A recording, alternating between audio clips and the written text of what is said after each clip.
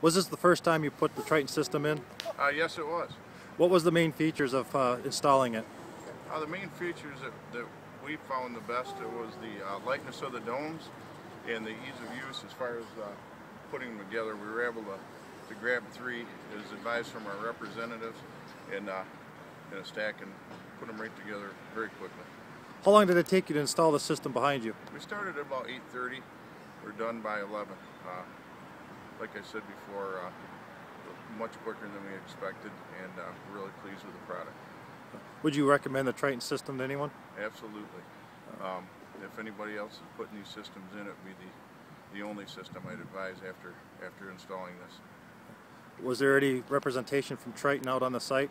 Uh, yes, there was, and that's one of the big selling points for us. Uh, we had two representatives uh, come out the day of installation and uh, help us through and get us started, and it was really advantageous to the to the speed and uh, put everybody at ease, made a comfortable pace, and we were done in a couple hours.